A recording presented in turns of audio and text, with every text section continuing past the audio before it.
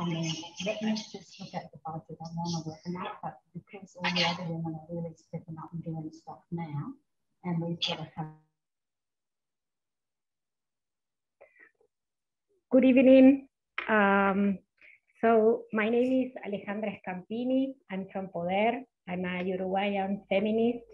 Uh, Poder is an organization of 10 years working in Latin America um, in terms of advocacy and um, accountability of enterprises. And we are very thankful to UN Women for inviting us to be uh, moderating this very important session that uh, is at the heart of the work that we do in terms of analyzing development models and, and economic models. This is a panel uh, entitled The Crisis of Economic and Global Development Models and Their Impact on Women and Girls, and will be uh, also have a special focus on COVID context. I would like uh, to make three remarks before starting this uh, amazing session. First of all, saying that this um, that we see in Poder this equality forum uh, on on gender on equality this equality forum like a like a perfect storm, right? Because of these uh, three elements. One, this important focus on being a civil society centered space, uh, a global gathering that have started today with amounts of events and interaction uh, on a variety of issues from violence against women, technology, youth involvement, political participation, um, technologies, innovation uh, for gender equality. And so this is a very important uh, dimension. The second one is that this is a venue to remind ourselves of the commitments made in Beijing. And of course, that those made in 1995, uh, many of them are still unaccomplished and many, are, many new challenges, but many new opportunities arise. And we'll be talking about that today. And the third element, I think, is this moment in which the whole planet is discussing about, you know, recovery, economic, uh, social development issues, cultural issues, political issues in a very intersected way that we uh, were not speaking like that back in 1995. So it's like a perfect storm of ideas and hopefully actions to uh, engage from a gender equality perspective in global debates uh, where you know many other uh, actors and stakeholders need to hear from the civil society movements, from the women's rights movement, what is to be done. So this panel uh, will be run uh, for two hours with uh, an amazing panel of uh, some of them are friends, long, long, uh, long time friends, and I'm very happy to introduce our first speaker, Mariama Williams. She is the principal um, Integrated Policy Research Institute and director. She's a feminist economist that has uh, been, um, I, I remember one of these first feminist economists that prepared many of us on the trade and debt debates back in 1990s.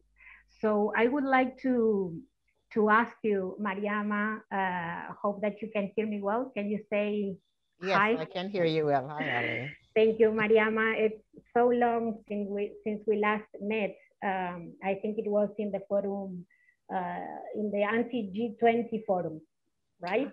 Mm -hmm in the right. feminist Buenos Aires, yes, yes. so many years. And I, I wanted to also mark that, that time because it was that time that also we went to the World Social Forum and, and um, many of us were marked by the assassination of Marielle Franco. And the room in which we are all here today, this virtual room in which we are discussing political um, debates and, and experiences and projects are in a room named after her. Marielle Franco. So it's an honor, and I think it's a very nice way to honor her name and her work and her legacy by having a discussion on what's wrong with the development um, model, what's wrong with the economic model, uh, what's at stake for women's rights and, and livelihoods. And, and she, she was at the heart of many of those battles back in Brazil and we are still, you know, uh, without any any uh, truth about who who killed her. But Mariama, you were part of that big movement, big momentums in which um, many of us, you know, were discussing what's G20, what's WTO. So now we are in a different moment. We are discussing the pandemic, but many of the issues that I'm sure you will tap on are related to things that the feminist movements and feminist academia and economists, feminist economists have been saying for a while. So how the pandemic has unveiled things that we have been saying for so long. So Mariama, what you see are these new challenges? What, what is new about uh, this context of pandemia? And what are these challenges for, for in this model, in this economic and development model for activating gender equality? Hi, thank you very much. And I thank the organizers um, and all of the, the um, participants for this um, very amazing forum and very timely forum. Uh, it's, it's too bad that we cannot see each other and dialogue and look at each other and touch each other. Um, that's part of the one of the, the drama of the pandemics. But to get to your question, because I know I have a short time to, to, to do it, I think it's pretty hard to say what is really new, huh? Because what the pandemic has done is to reveal a lot of what and put the spotlight on many of the things that feminists, economists, and gender advocates have been arguing for years and years, right? Um, many of the things that we've been arguing about, the challenges and opportunities that globalization purportedly present, that these weren't all grounded and they weren't sustainable, that in fact women, yes, did get employment, but the, the sustainability of women's autonomy, these are all on these precipice that could shift at any moment with any kind of exogenous crisis, whether for our economies in the South or any kind of global, global dilemma. And I think what has happened is that the pandemic has really unmasked um, and shown the critical areas that we have care, uh, domestic work, the essential workers that are primarily women. Many of our economies are dependent, at, least from where I am in my region, the Caribbean, are dependent on tourism.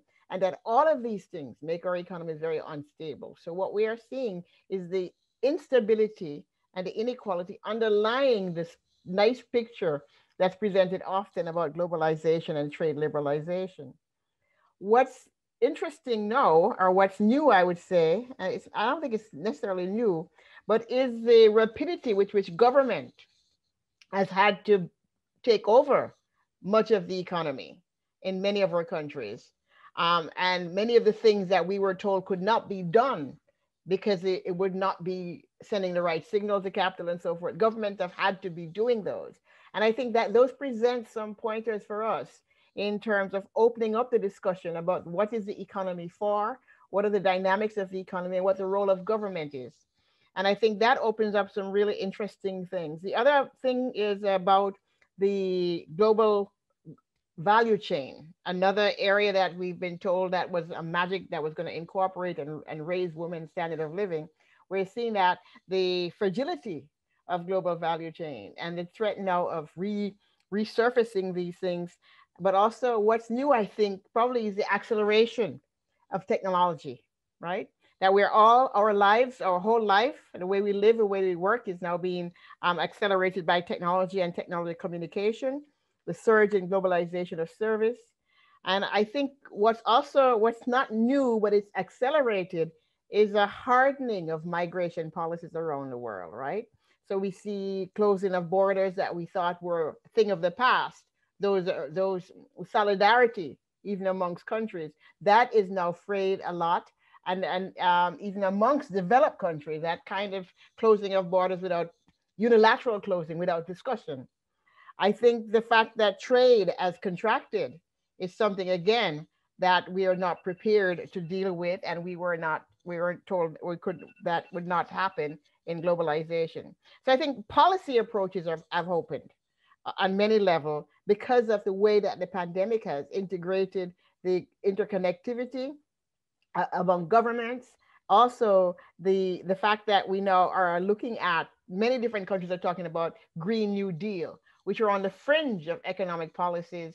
Up to a year ago, two years ago, we had one or two countries. We had UK talking a little bit about the labor talking. We had the EU had a thing, but now we see many countries are talking about it.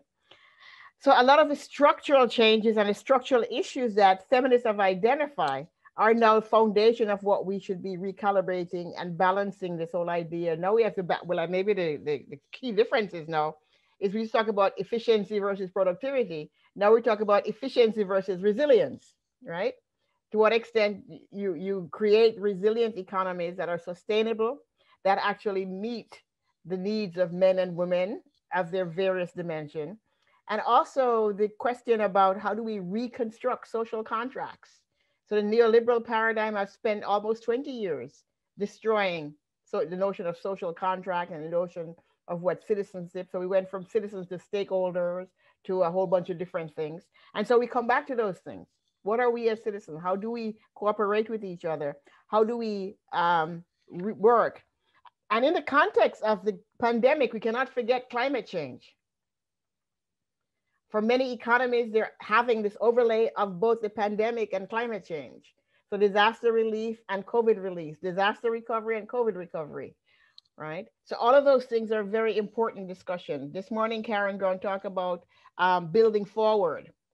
Again, that's a, a whole new thing that we have the opportunity now to restructure our economies along the lines of gender, sustainability, and people centered. These were words in the Human Development Report. Uh, they were centered there, but they never made it into a macro policy. Now, if you listen carefully to central bankers and to others, you start hearing this about people centered. Now, it still could still be rhetoric, but at some level, I think the pandemic has really unearthed the underbelly of what this capitalist economy is and the various fragility and vulnerability. I will stop there because I think I'm way over my time.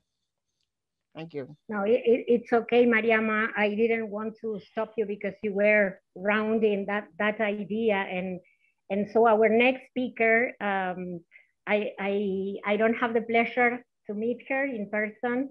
Um, so Sandra Creamer, if you are, if you can say hello, I think that it, it, it's a it's a very good way to walk into you know the experience of Sandra Creamer She's the Chief Executive Director of uh, the National, Aboriginal and Torres Strait Islander Women Alliance uh, in Australia.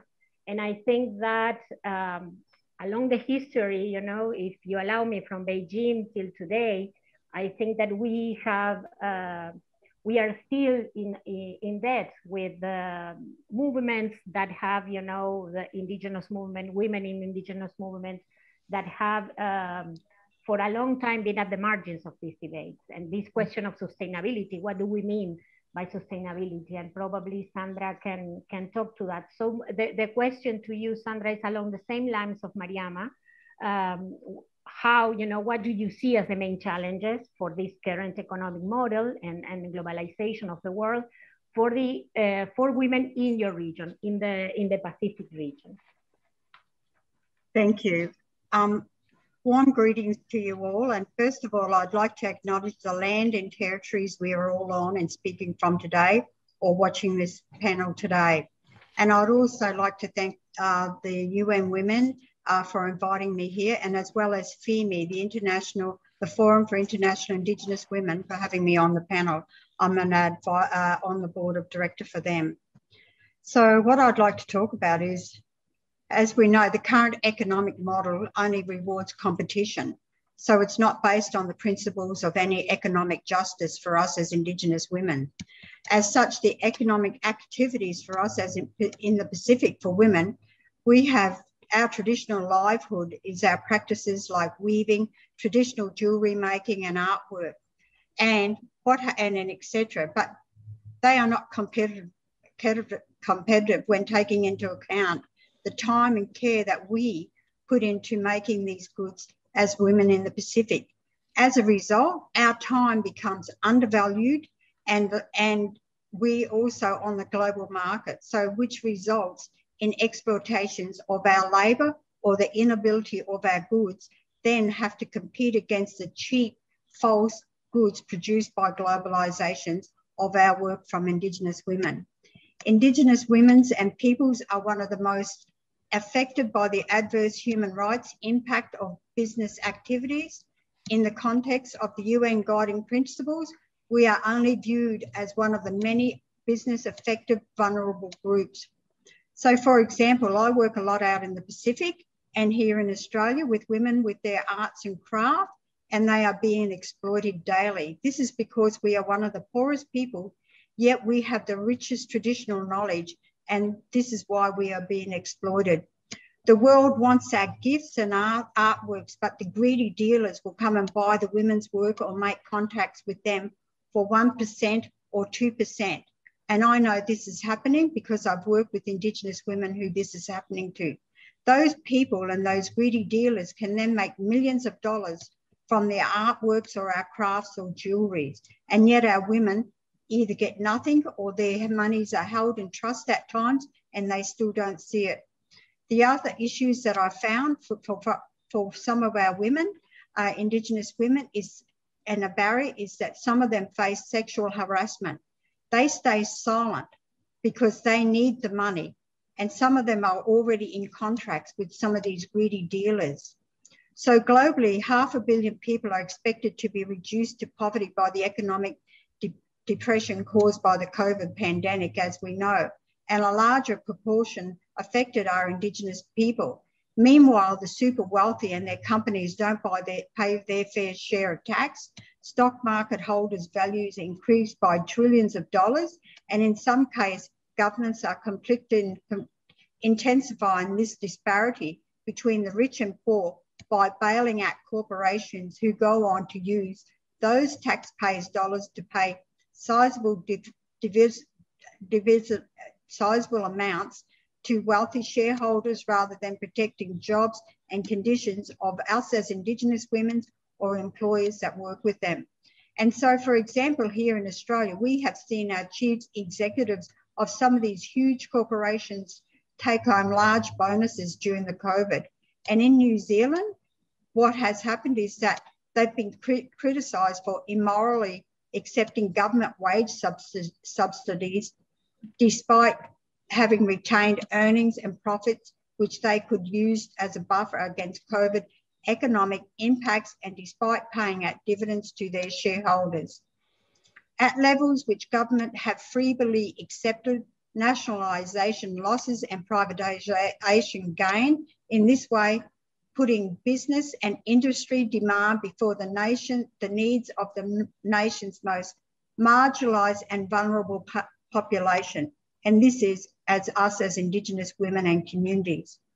As we know, there are very few accountability requirements. And this has even surprised some of our corporate CEOs, but really they do know this.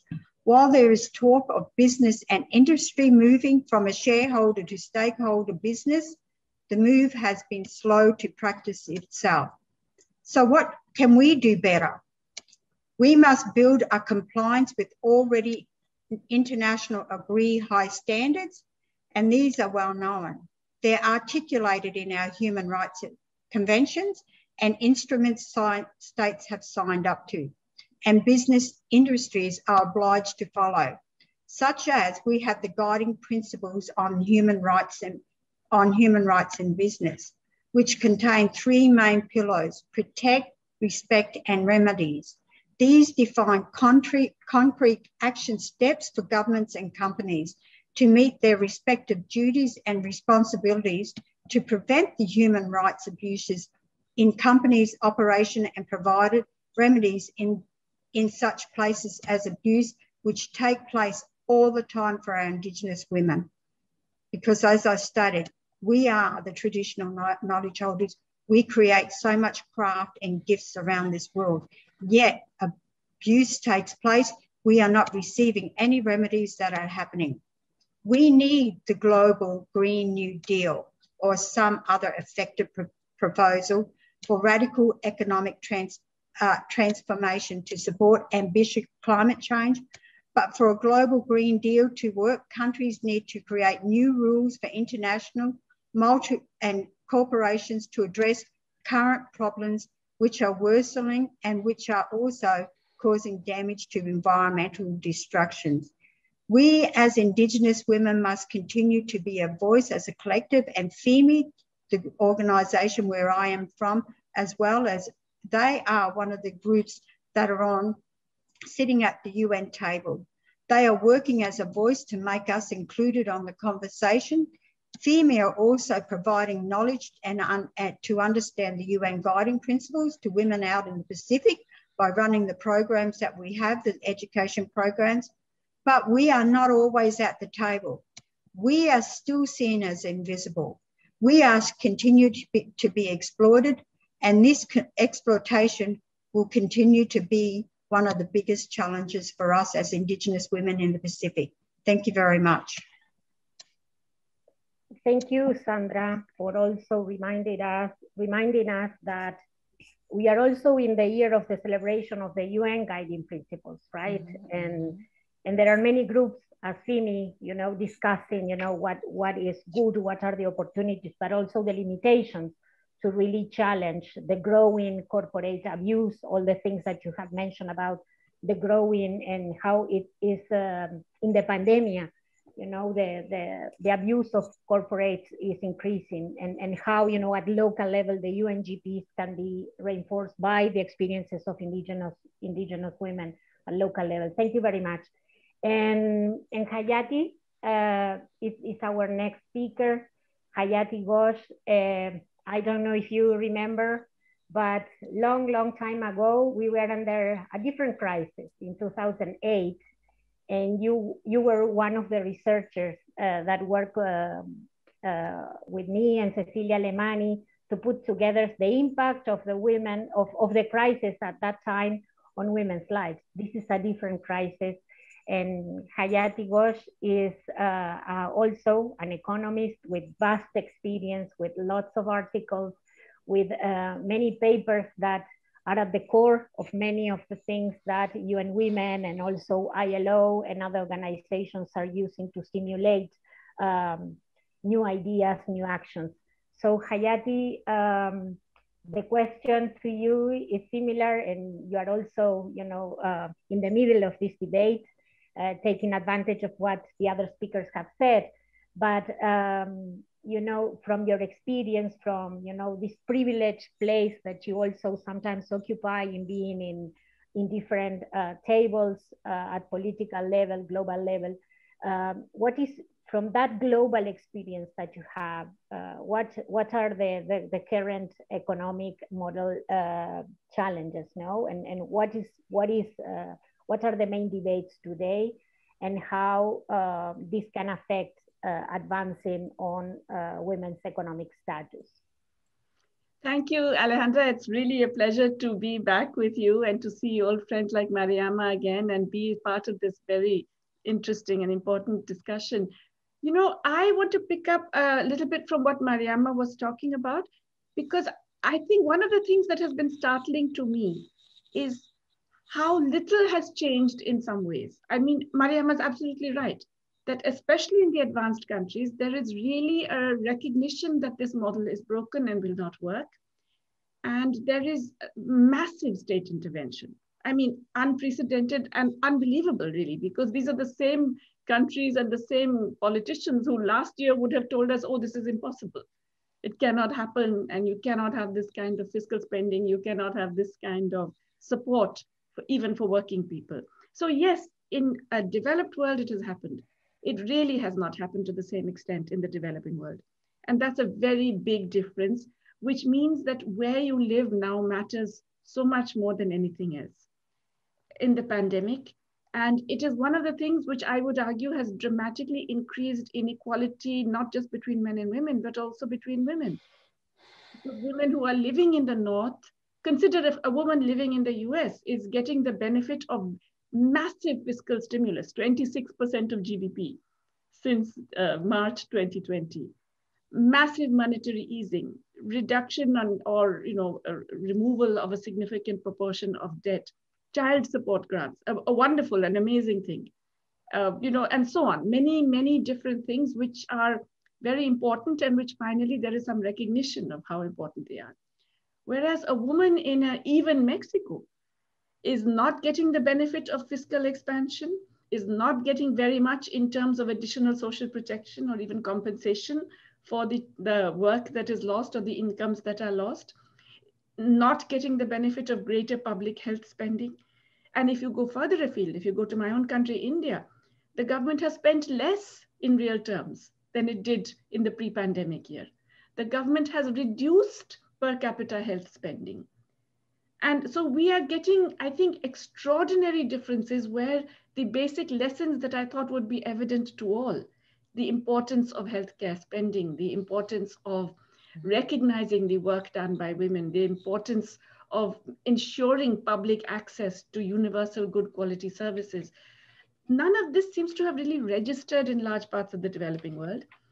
And it hasn't been helped by the fact that increasingly internationalism seems to have taken a real backseat. Mm-hmm. It, it, everyone announces we're all in this together and no one is safe until everyone is safe, but it doesn't happen in practice. We've seen unseemly vaccine grabs by the rich nations. We've seen the rich country governments protecting intellectual property rights that are preventing the production of vaccines elsewhere in the world. We are seeing hardly any money go in terms of aid or you know any kinds of benefits. Rich country governments are spending, as I said, you know, 20%, 25% of GDP on themselves, and nothing in terms of any kinds of compensatory financing to the developing world. So I think these two have come as a bit of a shock to me. I did not expect it. I thought a, a, a, pandemic of this proportions, and which is so evidently something that doesn't respect visas and passports and all of that, would make people realize that internationalism is the only way out. It hasn't. And as you mentioned, you know, we have no option but to look for internationalism to deal with all of our other major crises, the climate crisis, which is already upon us. So this pandemic has not made it happen yet. But if it doesn't happen soon, then I think we are really at the brink. We are at a verge of survival. And I mean, when you say, what does it mean for women's status? I think it's more than women's status. It is the very survival of the species, frankly, which is at stake. And so the kinds of things that feminists have been saying, people like Mariama and, and you and all of us have been saying for a very long time, these are more important than ever. But governments across the world do not seem to recognize that this is important for all governments. And I think that's a very major challenge. We have to think how we can seize this moment to actually change things.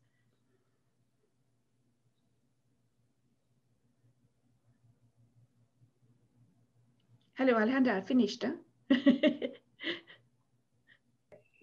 Sorry. Thank you. Thank you, Jayati. Uh, yeah, internationalism has not happened, uh, not yet. And hopefully, I think that from the lessons that we are hearing today from the different uh, members of movements, but also from the experiences of, in some debates, I think that uh, we need to keep high our hopes high. And talking about that, I hope that Nicole Bidegain who is uh, who has you know who is also a friend and has also been for for long following these debates um, beijing beijing reviews uh, nicole has also uh, been in in feminist movements debates world social forums uh, feminist encuentros. But nicole now sits at ECLAC right? She is uh, part of the ECLAC and um, she has recently been at the heart of the preparations of the uh, Women Regional Consultation. So I would like Nicole to come into this discussion that is about challenges, that is about learning what has happened, you know, to women and women's rights in the context of COVID, but also bringing the, the lessons, the highlights from, from your work, right, at regional level in, in ECLAC. And also Nicole Bidegain is Uruguayan. So she's also close uh, to our heart, to my heart. Nicole, the floor is yours. Muchas gracias, Alejandra. Un gusto saludarlas a todas. Voy a hablar, I'm going to Spanish. Um, saludos al Gobierno de México, de Francia, bueno, mujeres, por organizar este debate y tenernos aquí discutiendo justamente cómo pensar una respuesta integral a los desafíos que son urgentes, pero también se combinan con los desafíos emergentes y los estructurales. Y creo que a 26 años de Beijing, eh, un mensaje tiene que quedar muy claro y que tiene que ver con que los beneficios y los costos al proceso de globalización económica y financiera no se distribuyeron de forma equitativa entre países, entre regiones, entre hombres y mujeres, ni entre la diversidad de mujeres. Entonces, hoy nos encuentra en un, en un mundo profundamente desigual, con una crisis del multilateralismo en un momento donde, como bien decía tanto Yayati como Mariama, lo que más precisamos es cooperación regional e internacional y solidaridad para poder reducir las asimetrías y generar un, entorno macroeconómico propicio para la igualdad de género. En, América Latina, eh, desde la CEPAL, nuestras reflexiones en realidad este, nos, sitúan en este contexto em, desde, una visión que, para nosotros es muy clara, que tenemos que, decirlo claramente, que venimos de cuatro décadas de concentración de la riqueza en un modelo de desarrollo que, está agotado, que, se asocia a un deterioro ambiental, a una precarización de las condiciones de vida de las mujeres, en sociedades que están signadas por el patriarcado, el racismo y una cultura del privilegio. Y es por eso que en CEPAL decimos que la desigualdad de género es un rasgo estructural de América Latina y está en la base de la insostenibilidad del modelo. Y se expresa, por ejemplo, cuando miramos la distribución desigual del poder, de los recursos, de la riqueza, del trabajo, pero sobre todo del tiempo. Y un año de, un año de la irrupción de la pandemia, lo que estamos viendo efectivamente es que se están profundizando los nudos estructurales la desigualdad y está limitando la autonomía económica, la autonomía física y la autonomía en la toma de decisiones de las mujeres. En la región, además de, de, suceder una gran contracción económica, de 7,7% del PBI a nivel regional, esto ha generado un retroceso de más de una década en materia de participación laboral de las mujeres. Estamos actualmente frente a una salida masiva de las mujeres del mercado laboral, a un aumento de la informalidad y del desempleo, y que en realidad nos pone en una situación muy compleja para poder pensar una recuperación transformadora, porque estamos retrocediendo a pasos agigantados. Según nuestros cálculos, 56,9% eh, de las mujeres de América Latina y 54% de las mujeres del Caribe están empleadas en sectores con mayor riesgo en términos de pérdida de empleo y caída de ingresos, porque están concentradas por la segregación laboral en en sectores como el comercio, como el turismo, como bien comentaba Mariama en el Caribe, la manufactura y principalmente en el trabajo doméstico remunerado. Y estamos proyectando que efectivamente 118 millones de mujeres de América Latina estarán en situación de pobreza y esto implica 23 millones eh, más que en 2019. Y por lo tanto, como en crisis anteriores, que ya las hemos estudiado y hemos estado en espacios de debate, las mujeres están amortiguando los efectos de esta crisis a través de una sobrecarga de trabajo doméstico y de cuidados no remunerado, un aumento del desempleo y de la pobreza y una precarización de las condiciones de vida. Entonces, en la CEPAL decimos que mm, esto no es una época de crisis, sino una crisis de época, y estamos retomando los aportes de la economía feminista y los movimientos de la región para justamente hacer un llamado a avanzar hacia la justicia económica, climática y de género, y transitar a lo que estamos llamando una sociedad del cuidado, en la que cuidemos el planeta, a las personas, a quienes nos cuidan, pero también nos autocuidemos. Y esto implica una, repensar profundamente los patrones de producción, de consumo, de distribución y reorientar, por ejemplo, las finanzas hacia la economía real y poniendo en el centro la sostenibilidad de la vida. Entonces, en este contexto, lo que estamos llamando es para avanzar hacia un nuevo pacto económico, fiscal, político y de género, y promover este, varios de los acuerdos que ya teníamos, tanto en la Agenda Regional de Género aprobado por los países de la, región en la Conferencia Regional sobre la Mujer, pero también en la Plataforma de Acción de Beijing, que refiere a, avanzar en una coherencia entre las políticas macroeconómicas, financieras, comerciales, productivas y los derechos humanos de las mujeres. Para ello, efectivamente, en un mundo cada vez más interconectado, precisamos este, avanzar en una agenda renovada de multilateralismo, promover la cooperación regional y global evitar este, la carrera a la baja en materia laboral, fiscal, ambiental, pero también promover justamente bienes públicos regionales y globales, como las vacunas. No puede ser que los países estemos justamente avanzando en, eh, de forma unilateral en un problema que es global. Y en el marco de la Conferencia Regional sobre la Mujer de América Latina estamos trabajando junto a las mujeres a nivel regional, impulsando diferentes propuestas para una recuperación transformadora con igualdad, en el corto, mediano y largo plazo. Y es muy importante, y yo creo que esto es una, contribución que tiene la región hacia el mundo, es que en el marco de esta conferencia los países acordaron implementar políticas contracíclicas sensibles a las desigualdades de género para mitigar los efectos de la crisis en la vida de las mujeres y promover mm, políticas que dinamicen la economía en sectores claves como la economía del cuidado. Esto creo que es es, es, es, una novedad comparado a los tipos de acuerdos que, que normalmente los gobiernos eh, tenían en el espacio multilateral. Y es una oportunidad para justamente en un contexto que es distinto a las crisis anteriores, porque hay varios países que están impulsando, paquetes de estímulo fiscal, eh, obviamente con diferencias entre países, incluso dentro de América Latina, este es el momento para evaluar los impactos distributivos de género de estos paquetes de estímulo fiscal y poder justamente avanzar hacia una recuperación que proteja el empleo y los ingresos de las mujeres afectadas por la crisis, pero también promueve acciones afirmativas para que las mujeres también puedan participar en los sectores claves de la recuperación sostenible y que los cuidados realmente sean un driver para la recuperación. No me quiero pasar eh, eh, mucho del tiempo, pero también quería hacer algunas reflexiones sobre esto que decía Mariama de qué es lo nuevo y qué es lo viejo en, en estos desafíos que presentamos. Y en la región, este, hay tendencias que se están acentuando y que son bastante preocupantes. Una de ellas es la reprimarización exportadora y el aumento de la desigualdad y la pobreza. Entonces, en este contexto, más que nunca, diversificar la estructura productiva y la canasta exportadora en sectores intensivos en conocimiento y en empleo para las mujeres, justamente en sectores que puedan contribuir al gran impulso para la sostenibilidad, es fundamental. Y acá precisamos una, un, un avance y un trabajo con los gobiernos más en específico en, bajarlo a sectores y a cadenas productivas eh, como el turismo sostenible, este, que, debe ser un, posible sector para dinamizar la economía. Las tensiones geopolíticas eh, y en la reconfiguración de las cadenas globales de valor también eh, está generando un espacio de incertidumbre. Incluso las mujeres que participan de forma subordinada en las cadenas globales de valor están viendo afectadas por posibles eh, procesos de reshoring, nearshoring, este, o el proceso de digitalización y automatización. Entonces, de nuevo, la integración productiva regional es otra de las propuestas que desde CEPAL consideramos que tenemos que seguir impulsando este, para poder fomentar encadenamientos productivos, por ejemplo, en la industria de manufactura de la salud, donde la región es una importadora neta de los insumos médicos que precisamos justamente para hacer frente a la pandemia. Eh, Ale, ¿estamos bien? No. Sí, sí, puedes, if you, if you can, because there will be a second round for final recommendations.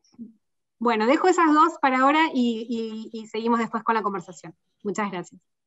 No, thank you, thank you, Nicole. And I think that many of the things that you were saying, uh, it's about Latin America, but I, I'm sure that it resonates with uh, the, um, the speakers and the people that we have more than more than 100 people uh, listening to this webinar. And it's exciting you know that being such a hard topic more than 100 people are listening and also putting questions in the chat. Um, i'm going to give the floor to uh, veda sharadwaya and please apologize if i cannot pronounce your your surname. Um, she's program officer, senior program officer on the Hunger Project India, and I'm sure that vast of experience of, you know, what are the challenges, the current challenges, and um, if you can also dialogue with what was said, you know, in terms of the of the challenges that we have and what you have seen new in this uh, context of pandemic. Welcome, Veda. Thank you, thank you, Alejandra, and the fellow panelists.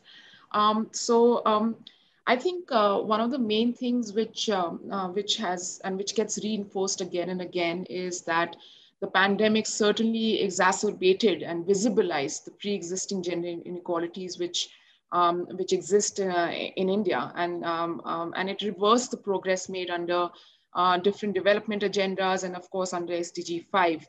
Um, and there were these sea of narratives that really brought this to the forefront.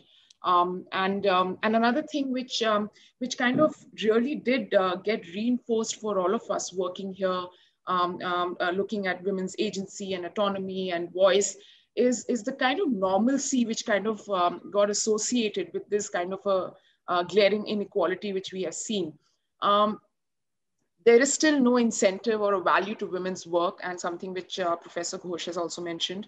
Um, and, and according to a data, um, and I'm not going to quote too much data because it's all there in the public domain, but according to the data from the Center for Monitoring Indian Economy, uh, by November 2020, 49% of total job losses were of women. Um, and this is, of course, uh, remember, this is just women in uh, fewer numbers in the workforce, which is the formal workforce. Um, participation of female labor force in India is one of the lowest in the world.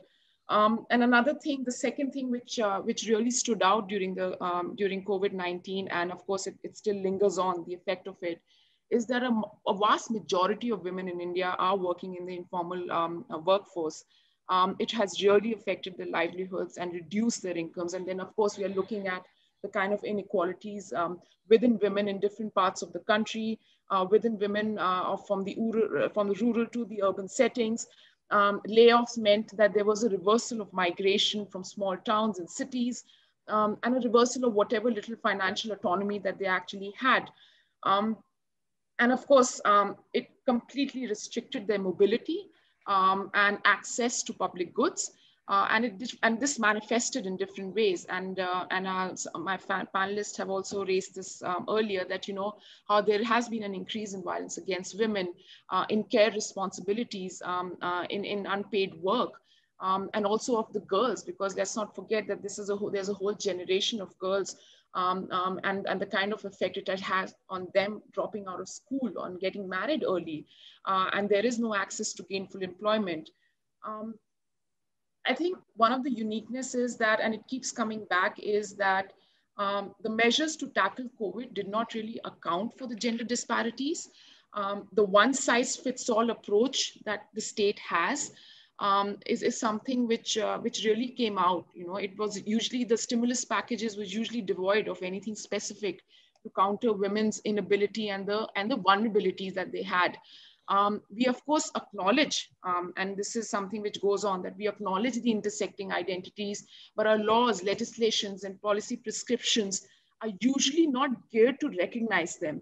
And this is especially seen, and this is just an observation that we've had in our work with the elected women representatives in the village councils um, at the Hunger Project, is that um, especially where you have to see advancing women's and girls' rights are concerned.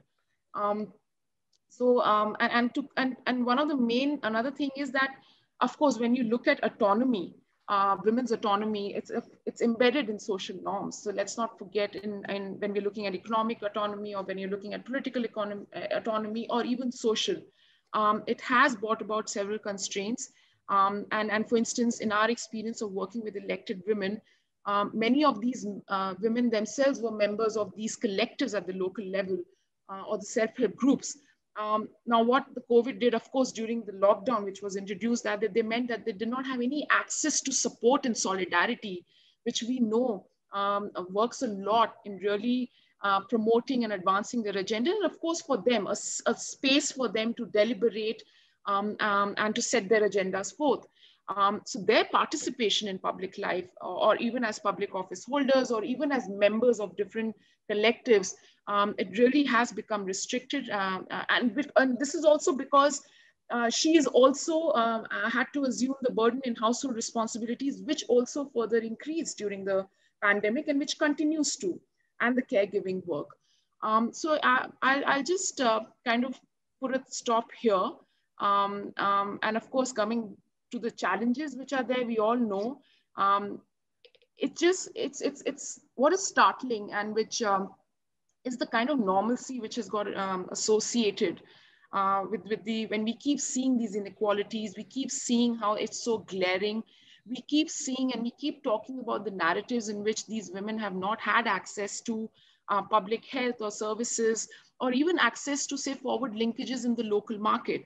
So for instance, um, in some of the areas that we, uh, that we had visited and, and, and in our experience has been that they want to work. There are these they want to and livelihood opportunities does not necessarily mean that you know it's equal to right to work which is under MNREGA because MNREGA which is the national rural employment guarantee act that still remains their primary source of whatever little income that they get.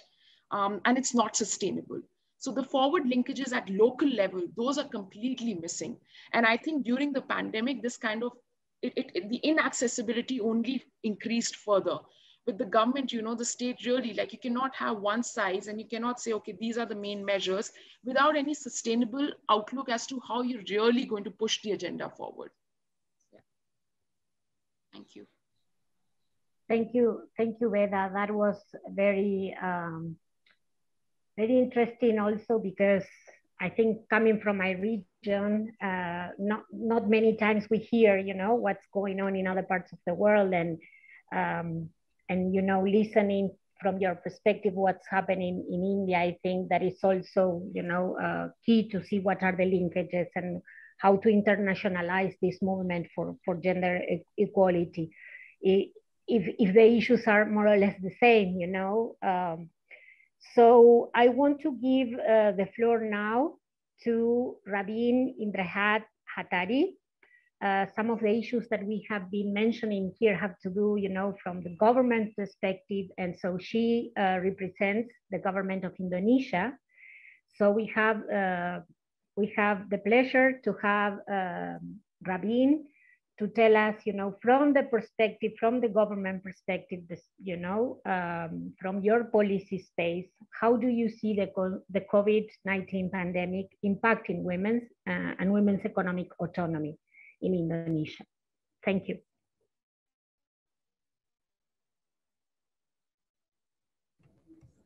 Thank you, Alejandra. Good morning to you all for those who are in my regions. Um, I just realized I'm the only male panelist, right, in this forum. Anyhow, thank you so much. Um, so coming back to Alejandra's uh, questions on how has the COVID-19 pandemic impacted women's economic autonomy. From our side, from the government, we see this. Coronavirus has affected the working life of just about everyone, right? But then in our studies, we showed that the early evidence showed that it has hit women the hardest, right? Now, this impact of corona pandemic, coronavirus pandemic, clearly shows in the private sector side where 90% of Indonesian companies are affected by this pandemic, similar to what happened in other countries, right? Everyone has to bear the burdens of this pandemic. At the state enterprise levels, we also see that similar to the uh, private sector, 90% of our companies shows negative earnings, right? And only 10% of those can maintain business growth. Now, without, uh, you know, not to our surprise, the female-dominated industries such as tourism has been the hardest hit, right? Airline industries, our airlines, um, uh, state-owned airline companies are, are experiencing the, the hardest time of, of their um, time and also the hotels that belongs to our state-owned enterprise also experience a hard time. In fact, you know, the tourism SOEs are the uh, third largest hit SOE companies, right? Next to male-dominated industries such as oil and gas and infrastructure. Further, what we also been informed by UN, uh, the recent studies of UN Women's on impact of coronavirus pandemic to Indonesia shows that more than more women than men report a reductions in working hours and 47% of women report working from home compared with 35% of men. The study also shows that the women have suffered higher jobs losses and loss of livelihoods because of their overrepresented in sectors and jobs hardest hit by COVID. So with this background, what the government is saying, okay, what we need to do is we need to help the female workers at two different levels, right? First, what we do is we provide the necessary infrastructures, right? For, for female workers or workers in general to work from home. So the new norm is becoming a key important issues in here what we do from the government is that from our state-owned enterprises, we provide um, quotas for internet bandwidth so that they can access their jobs, you know. Um, workers can work from homes, um, children can study without any uh, problems from homes with increased bandwidth. Second, what we do is provide also increase on electricity subsidies we know that the electricity consumption from households during this pandemic time has increased substantially compared to those in the industries where they have wind down because of no operations. So we do hope when we design this that this supports will help the workers, in particular female workers, who now we see are carrying double duties. Not only, right, they're the brand of childcare and education, at the same time, they also have to do their regular jobs. So these facilities are hoped to, to support not only workers, but more specifically female workers when they work from home. Second, for those informal workers, women, right, given that there's no economic activities, we are providing also cheap credits for them, you know, to do their business, to continue their business, or even to restructure, right, their businesses. And this is done through our state public sector banks and also uh, with our uh, non-bank financial institution owned by the states. Uh, one way uh, that we see this is um, to provide cheap credits and also to help them to develop skills for post-COVID times. And this is being done not only at the national level, but also at the provincial and local levels. Now, at the micro levels, right, at the enterprise levels, state-owned enterprise also this is as an opportunity, right, to improve the workplace as a place that will be conducive for women workers. In fact, a number of our SOE state-owned enterprises are revisiting their HR policies and craft plans to improve gender balances. New HR policy, which are common during pandemic times, such as flexible working hours, are now becoming the standard for Indonesian SOE HR policies.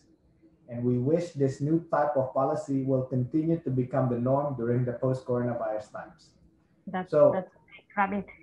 Uh, if you could round up. Yes, I think that's that's that's the end for me.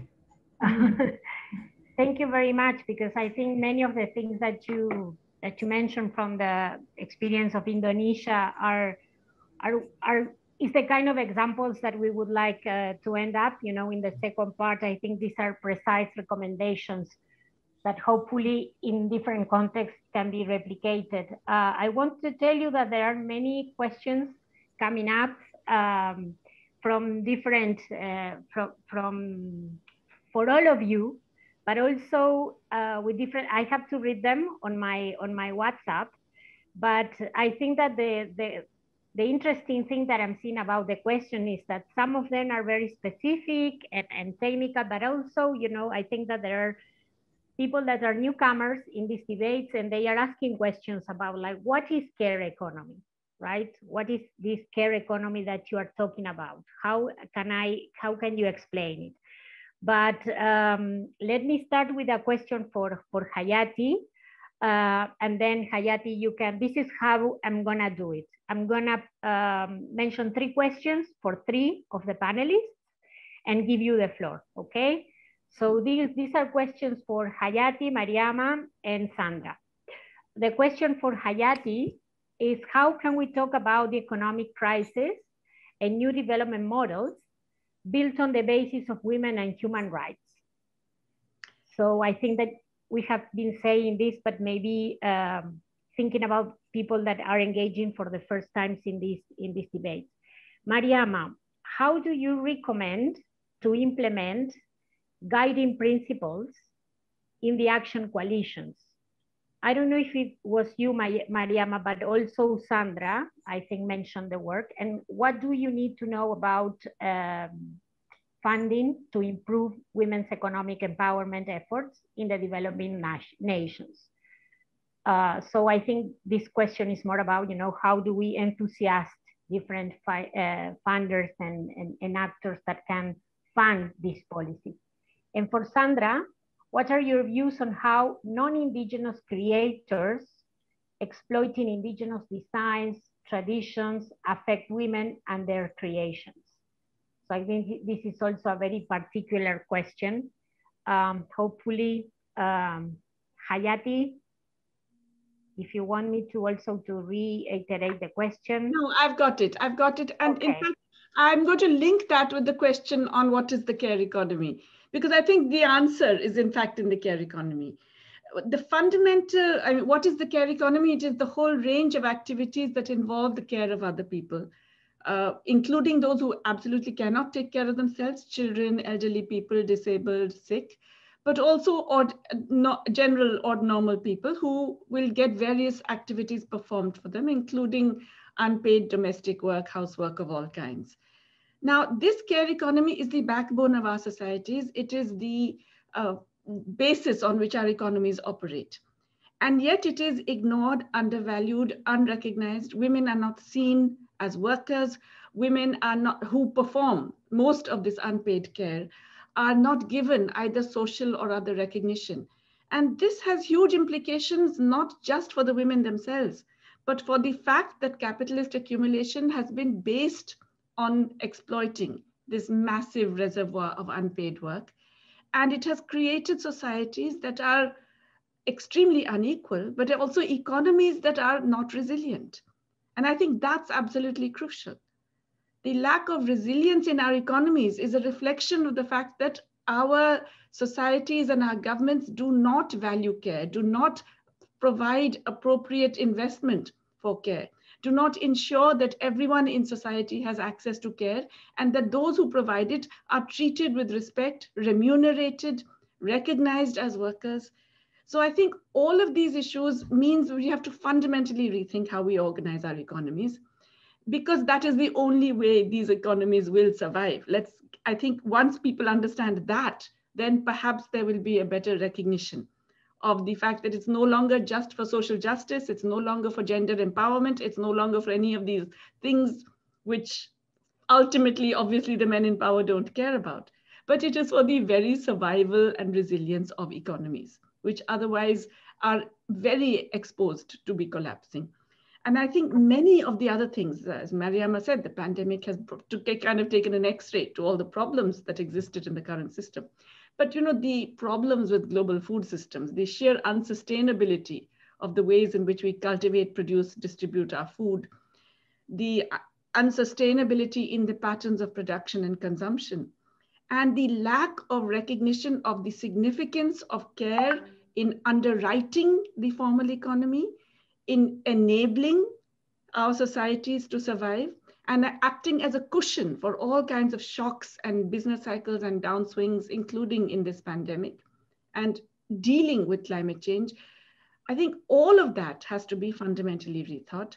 And the care economy and investing in care is absolutely at the heart of it. Thank you, Jayati. Thank you.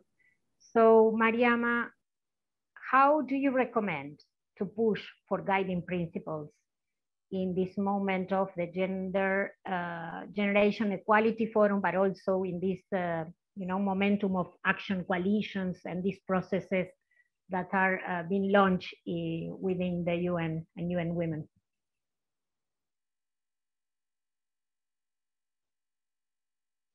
Mariama, are you still there? Maybe we lost Mariama. So Sandra, Sandra, oh, Mariama, you are there. Sorry, I'm trying to I unmute myself. I see you. Um, so yes, but I, I, was saying that I think um, Nicole already started flagging some of the the the answers that we need, right? Because I don't think there are any answers to the the way that the way forward out of this this um, pandemic in terms of the impact of the economic crisis on women that requires startlingly brilliant answers. I think the answers exist. I think if you look in all of the regional reports from Asia, from Latin America, even Eastern and Central Europe in the in the preparatory process for Beijing, that they flagged what are the gaps, the implementation gaps that have not occurred as a result of inadequate macro policy, inadequate trade policies, and so forth.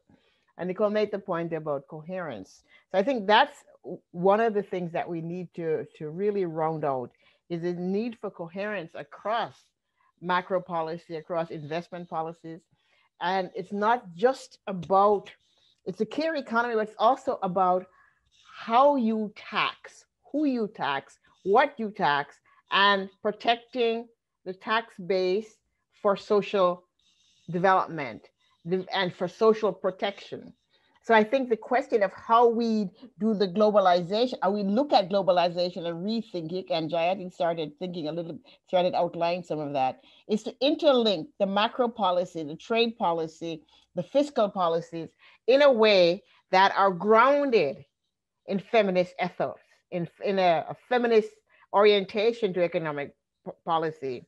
And I think that the, the head of the Hawaiian Department of Human Services, Jabola Carolus, said it best. She said, if the plan isn't feminist, it's patriarchal, and it will fail to deliver resilient, strong economy. And I think that has to be your basis. When we're talking about building forward or building back or recovery, it has to be grounded in being centered in women's reality, indigenous reality, and different ethnic groups, those who are at the base of the society, those who have not, so that our government has to, the key principle has to be providing childcare for all workers, especially those who are deemed essential worker, providing economic security for her small business, in particular those that are MSMEs and female owned. And also we, I think we have to go back to some of the big issues that civil society has been talking about. Universal basic income, decent work. I mean, we these are not new ideas, they're, they're existing. And I think the time is now for us as civil society what regardless of where we're advocating to have a coordinated approach that links and explain how our particular approach whether we're looking at violence against women or domestic workers how that links to the macro policy how that links to trade how it links to investment. I think the time is past where we can simply organize in our in our in our silos and not interlink these things. And it doesn't require that you become an expert on them. It requires that you link up with groups who are working on it. And it behooves us to really interrogate the economic policies, the fiscal policies. They must be gender sensitive, they must be green or climate friendly. And we need to interlink all of those in our framework, in our thinking through about where we want to go. And we also must link up with grassroots women and men who are doing work on the community, on the, on the, at the base because they're the ones who are surviving and they hmm. have to be the ones who drive drive whatever we do. So we need to also look at what they're doing look at how they're responding. So we have to look at the frontline community work that's going on right now in all of our countries where people are struggling because there is no government to give them a stimulus check a $1400 stimulus check. Initially many of our governments did try in, certainly in the caribbean but it's not sustainable. It was not sustainable, especially you're in debt, indebted, and also the priorities are skewed in terms of who we want, what sectors. So we'll give the tourist sector money, but we won't give the small business or the own account worker money. Uh, that is sustainable in the long term.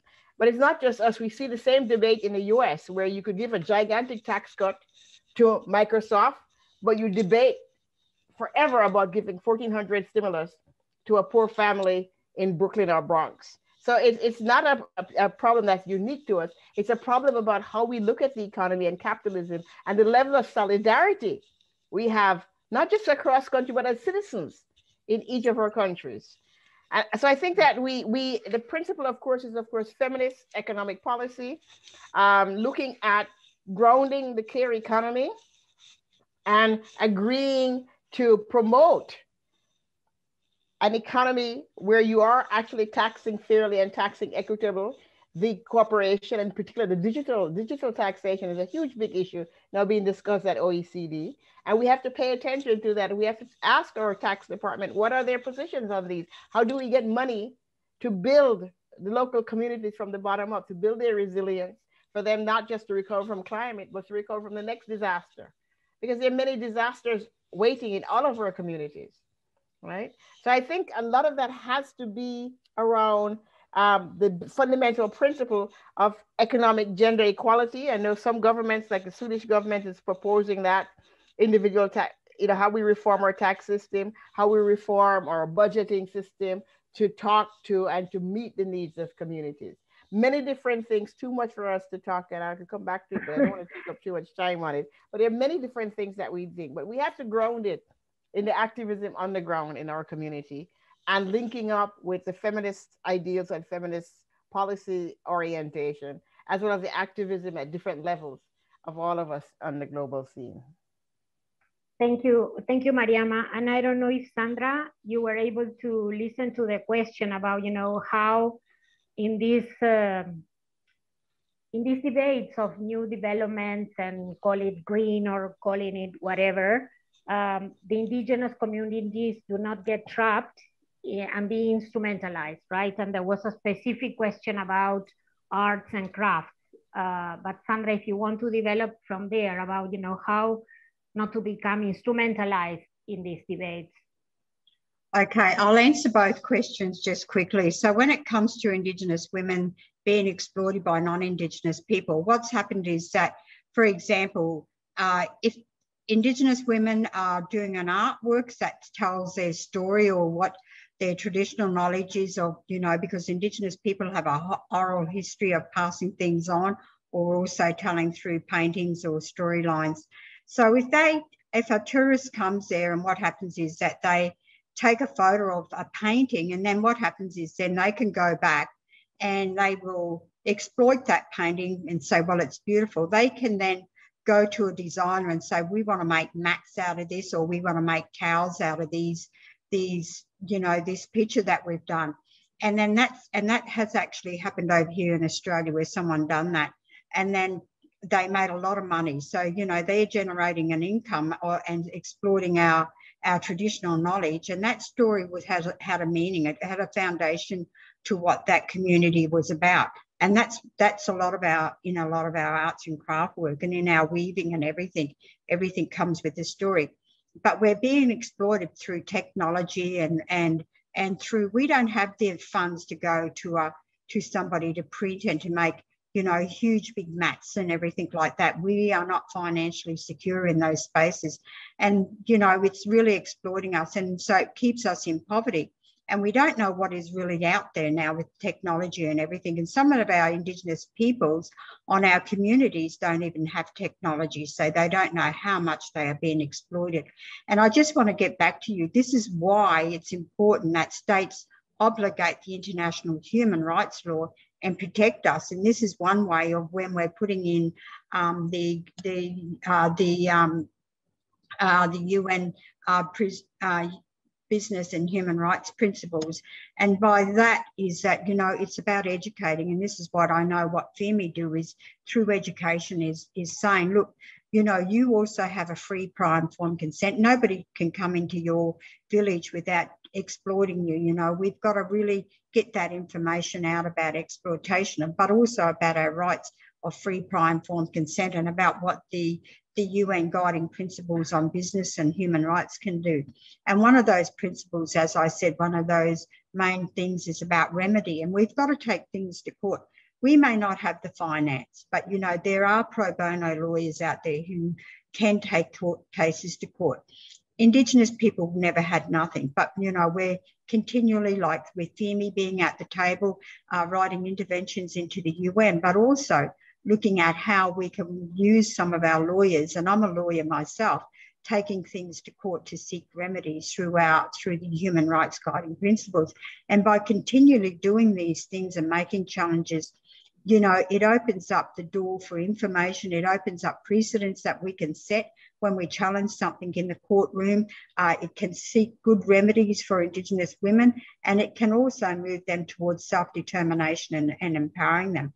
And I say to our Indigenous women many times, you know, we've got to take the challenge up, especially in the legal system. We may lose sometimes, but we may win. And that's the point of doing all of this all of the time. And as we go back to, you know, looking at the remedies that we can seek in the Western system of the, of the legal system. So, you know, that expert, expert uh, you know, being exploited is huge, but, you know, we've got to make information sharing and caring and and looking after and providing the right information to our women to seek remedies, especially under that, because states have an obligation Um, and even though they, they may not meet those obligations under UN guiding principles on business and human rights, you know, they still have, there are third parties and those are business enterprise. They still have that obligation. So I hope that answers your question. Thank you. Thank you, Sandra. Um, so for Veda, and I think that also many of you tapped on the issue of migration and vulnerable and the and some groups that are more vulnerable than others. But specifically to you, Veda, how how do you see um, if you can if you can explore more or uh, yeah explain a little bit more about the linkages for the women that are you know more vulnerable in this situation, how it was for them, what are the um, what are the mechanisms that make uh, them uh, go through this situation of pandemia better? And especially um, one of the questions that was raised, and not just to you, Veda, but what happens when we're talking about migration, right? And most of these immigrants are also illegal in some parts of the of the world, and they are not sitting at the at these tables at these discussions. I, I don't know how many of, of the people here in this discussion are migrants themselves to be responding to this question. But if you can better, uh, maybe your organization has been working a little bit more on how to tap on the specificities or, of being a migrant woman, a migrant child in this context of pandemia. Sure. Um, so where uh, where linkages for women is concerned, um, one of the things that we've observed is that um, if you move away from the formal processes of the state and the institution, it's in the informal spaces where women have really uh, um, tried to, you know, um, uh, come forth and actually access because I think it gives the freedom and the flexibility for them to really, um, and also accessibility for them. So um, I think um, the, the, the, the use of informal spaces at the local level uh, in close proximity to the communities that they belong to um, really does help in really getting um, uh, people together and really getting women together to really have a safe space for them. And this is something that we've observed uh, during the pandemic as well. Um, and, um, and, secondly, um, about migration, I think, um, at least in our experience, it's more been about the returning migrants who were coming back. Um, and we saw how um, these women, and especially the women who've been elected to, um, to the village councils, because there is a quota of seats for women to contest elections in village councils. Um, there are two things which stood out. One is that there was, a, there was um, this restlessness and this anger that, um, that was coming forth from the migrants who were returning back. The, the restlessness was that in, in terms of the information asymmetry which was taking place. And it's not about the, the, the lack of information, but it's just in terms of the hyperbole of information that was coming forth. Um, and, and how these women really, um, I mean, it was a struggle, it was a challenge because um, uh, you know that lack of information vis-a-vis misinformation, that's even another kind of challenge altogether. So how these women really tackle that, you know, at the local level and being public office holders, there was also rising expectations from them to deliver goods and to deliver fast. Um, even if the stimulus packages that were coming through uh, were really slow, or it, it was in fact uh, the different beneficiaries that needed to, to, to, be identified. So I think one of the learnings has to be that um, a that that the, the, there needs to be a convergence between different departments and different uh, uh actors at play uh, when you're especially when we're looking at service provisioning at the local level. And secondly, where women and girls' rights are concerned, um, and, and where migration is concerned, a lot of them, when we look at closure of schools, um, it, it uh, there needs to be a universality in terms of the access that they can get. So even if a migrant is from one particular state, going to another particular state is something that um, um, it's, it's not something that cannot be realized, cannot be achieved, but there needs to be a portability factor there.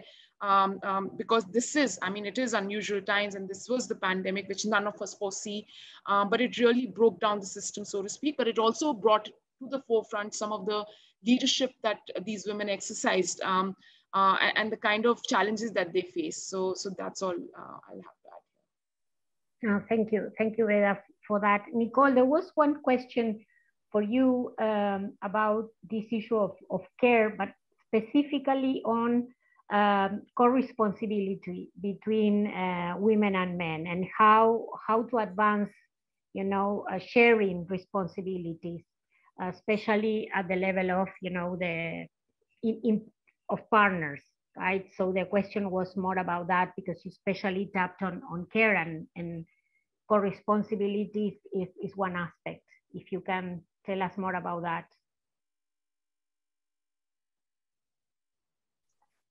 Sí, desde CEPAL nosotras consideramos la corresponsabilidad eh, como, un, como, una corresponsabilidad que tiene que ser entre hombres y mujeres, entre diversas formas de familia, pero también entre el Estado, el mercado y las comunidades.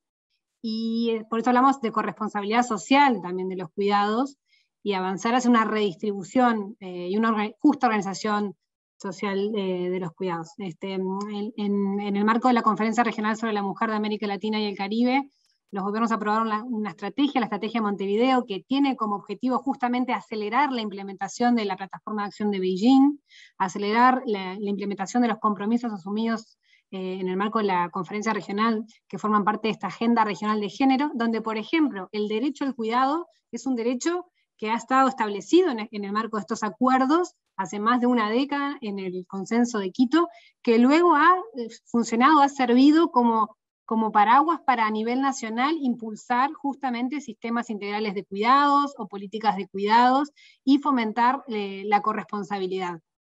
Este, lo que hemos identificado en CEPAL, que en, estas últimas décadas, si bien ha habido una incorporación de las mujeres al mercado laboral, aunque después obviamente se ha estancado en torno a un 50%, y ahora vemos un retroceso, este, este, proceso de incorporación de las mujeres al mercado laboral no fue acompañado por un proceso de incorporación de los hombres al trabajo eh, no remunerado y de cuidado dentro de los hogares. Y esto ha generado una sobrecarga de trabajo en las mujeres, que en el Observatorio de Igualdad de Género de América Latina y el Caribe tenemos indicadores específicos para justamente monitorear y, poder reportar este, cómo está esta situación donde las mujeres dedican tres veces más del tiempo que los hombres a, las tareas de trabajo no remunerado de cuidados, y donde también medimos la carga total del trabajo, porque justamente frente a la ausencia de corresponsabilidad, las mujeres tienen una doble, una triple jornada este, cuando sumamos la carga de trabajo remunerado más el trabajo no remunerado.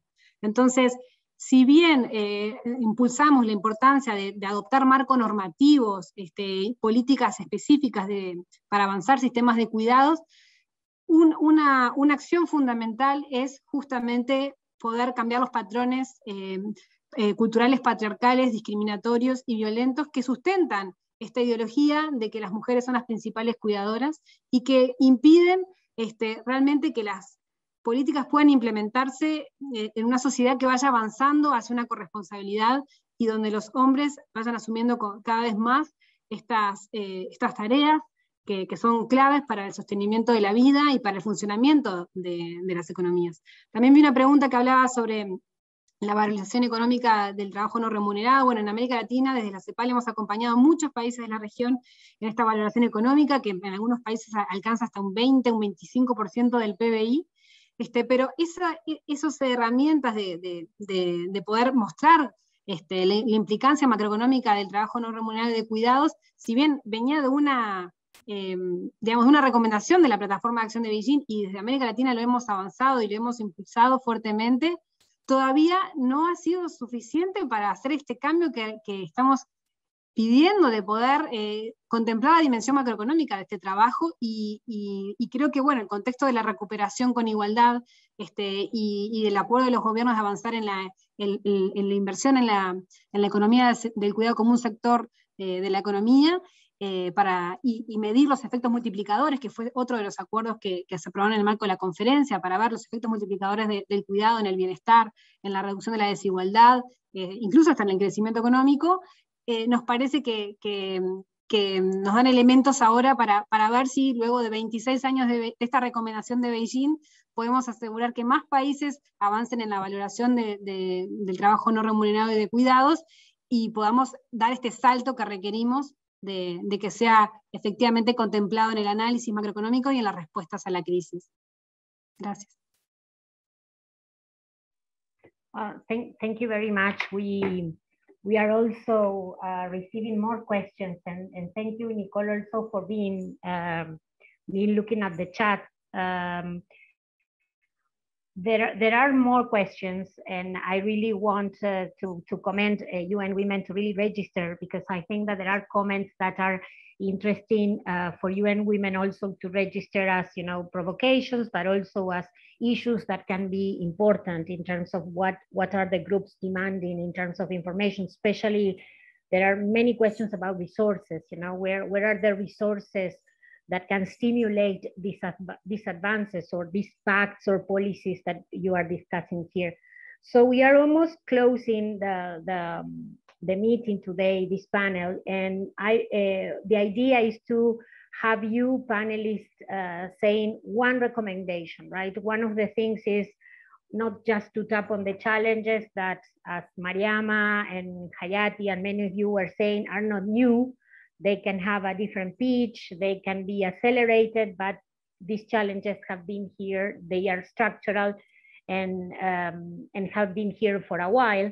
But what are the recommendations? Because it's fundamental for, for, for this type of forum that has many actors involved, not just civil society or governments, but also other actors, UN agencies, but also private sector involved in some parts of the, of the debates what are the recommendations? If you were to, you know, in this limited time, uh, give us one example or two um, of one, one, what, what are the things that you think are, you know, like backbones, as you said, Jayati, the care economy. But um, apart from that, what could be um, that final message in terms of recommendations? And maybe I can start um, from, instead of or I can, yeah, I can ask Jayati or Maya or Mariama, who were the first speakers in this panel, if you were to tell us one recommendation or two.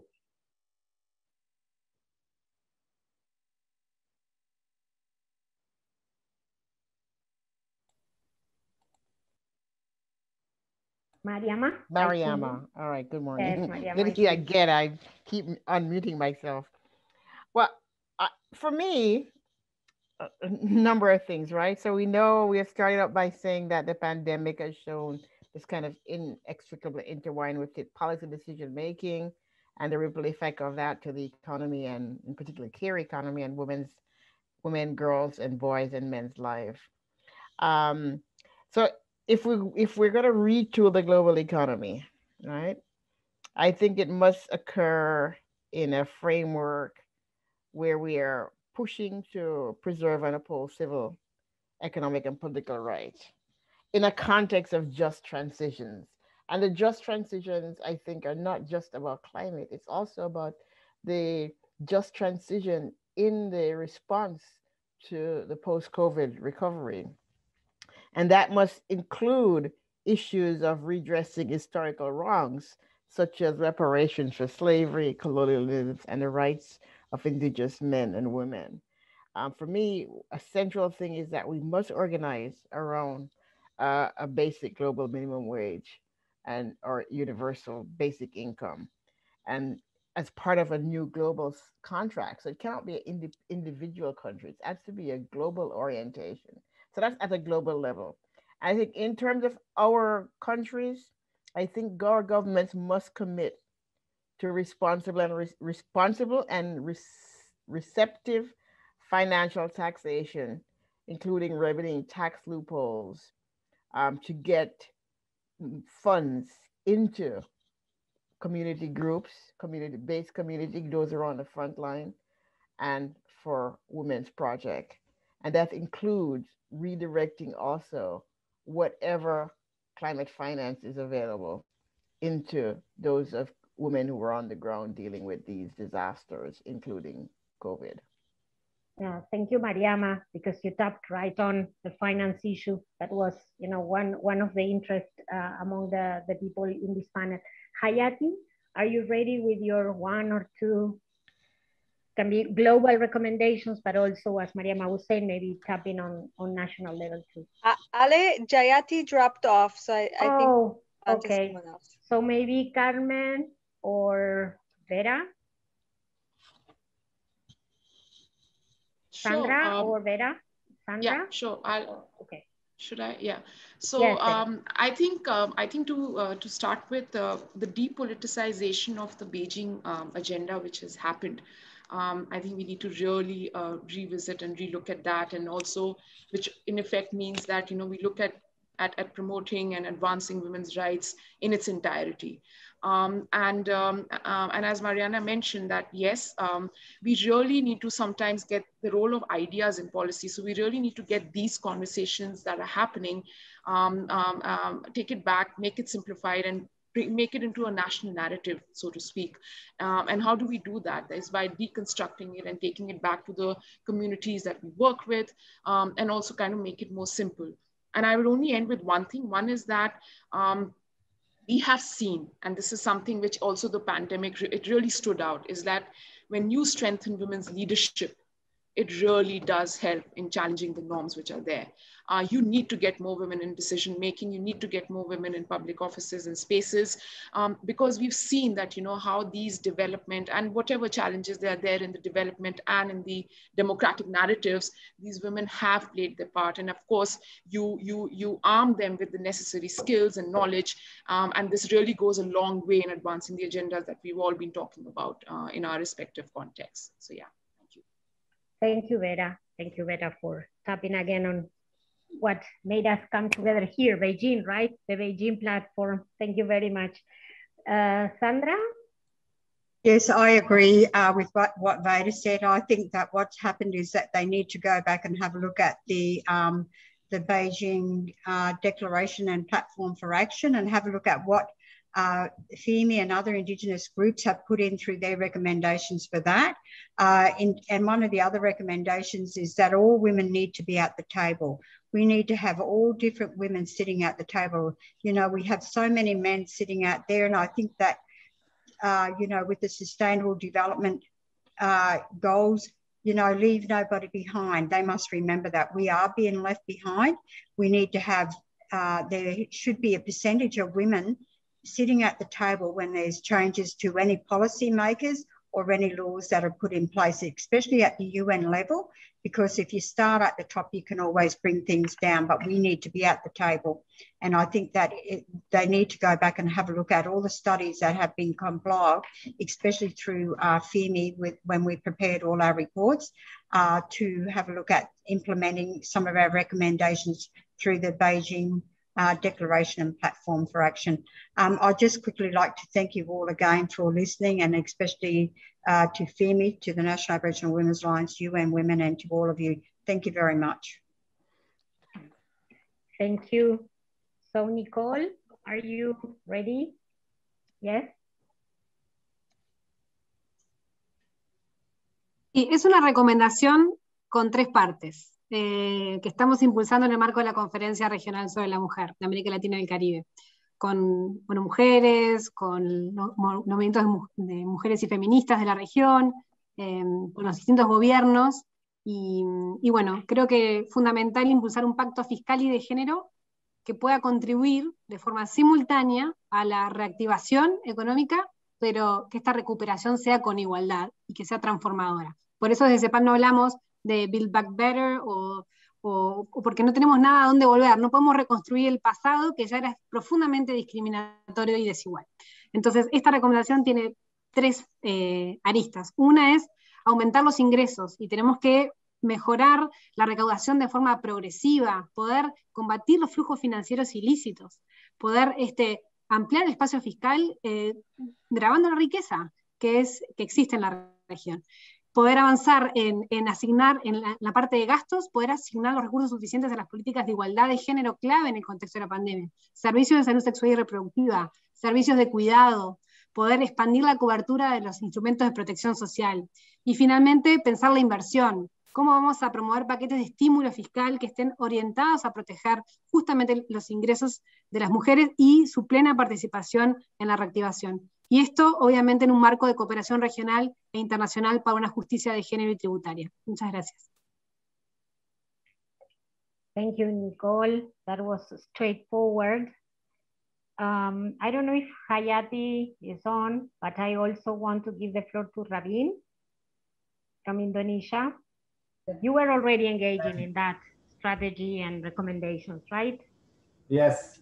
Um, so thank you. I think quickly uh, on the recommendations, promoting women leaderships and I think exercising women empowerment is a key. How to do that from a policy angles, the government needs to introduce policy that will uh, encourage for more of this gender mainstreamings. But however, I think the development of this policy needs also to be supported by a community-based inputs. And I think this is in line with what Veda was mentioning. The importance of, community-based inputs uh, to the policy making is clearly is important. As such, in the Ministry of SOE, we're happy to, to, to share here that for the first times, we have the first uh, community-based women of SOEs. So what we hope in the future is we will work together with this community, Srikandi, where they provide us with inputs on how to improve our policies, particularly on in, uh, promoting more women leaderships and exercising women empowerment. So there needs to be this two sides of, of, of the coins, you know, policy from the government sides, but the government cannot make a great poli good policy without inputs from the communities. Thank you. Thank you, Rabin. Uh, Nancy, I'm not sure if uh, Jayati is back. No, she is not. I think no, you can wrap up. I, okay, sorry. so um, I'm, I'm, I'm not gonna dare to do any kind of summary. I think that um, uh, you have been saying lots of things that it's very difficult to summarize and hopefully UN Women is going also to upload this video um, in the YouTube channel, Facebook channel for everyone to re-listen to the amazing amount of knowledge and experience.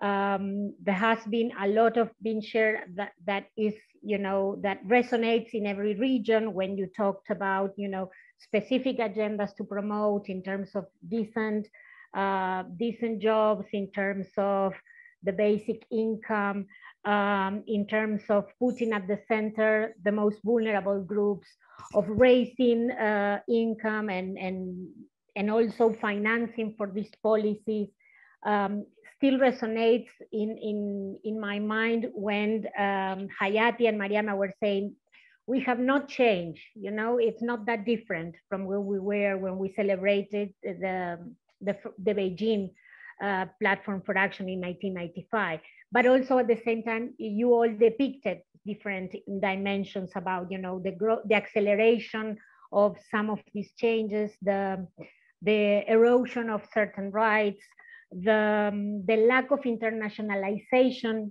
even in, in this time of pandemic, um, certain specific responses from the territories that have been uh, fundamental for the survival of the people on the ground. So many of the things that you have been saying talk about, you know, revisiting Beijing from what is what is happening now at local level. We cannot look at Beijing with, you know, the, the glasses, the lenses that we had in 1995 because many things have also changed.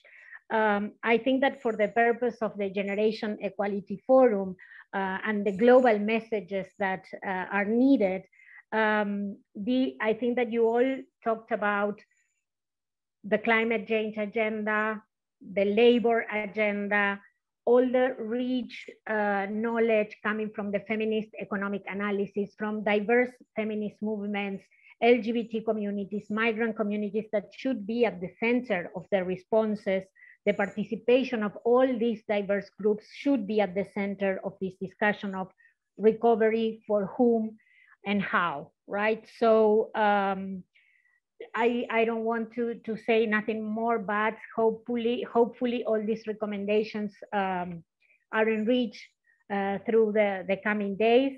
And I don't know if Nancy, that you have been at the backstage, if you want to give some closing uh, to this session and how people can still listen to the to the debates tomorrow and until the 31st. Thank you, everyone. I think we just welcome you to also check out days two and three of the forum, and then also to see you in Paris as we now launch uh, the kickoff to commitments, um, where we're really looking for ambitious and game-changing commitments and actions. And we're taking all of these recommendations into day two tomorrow in the action uh, day. So I, I really thank you all. Um, and huge thanks while we uh, have been working on the technical uh, difficulties on, on the back end. Uh, thank you for the patience. Um, yes, and good night. Thank you, Nancy. Thank you, everyone. Thank you, everyone. Bye-bye. Thank you. Bye. Bye.